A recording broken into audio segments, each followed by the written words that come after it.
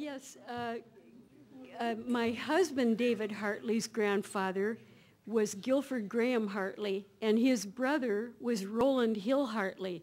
So our two uh, fathers, David's father, Cavour Hartley, and my father, David Hartley, were first cousins.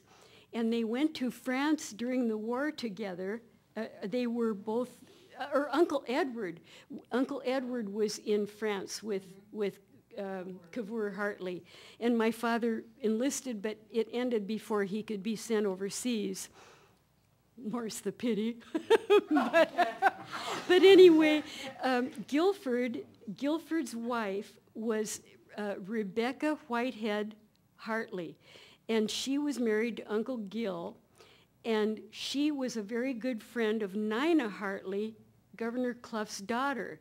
So when they invited uh, uh, uh, Roland to come visit them in Duluth, uh, she introduced uh, Roland to her good friend Nina Clough. And that's how they got together. Isn't that interesting?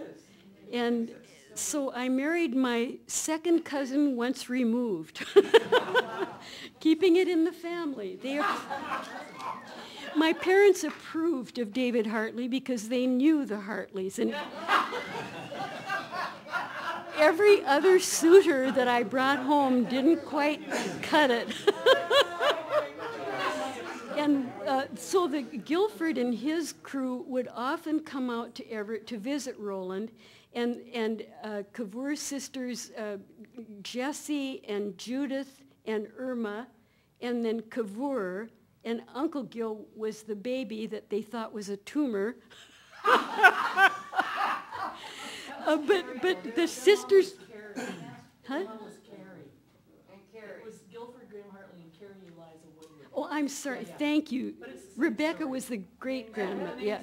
Anyway, Carrie, which was a cute. Anyway, um, they would come out here, and so all of the these uh, cousins were gathered about the table, and Roland stood up and proposed a toast to their father, Edward William Bennett Hartley of New Brunswick then.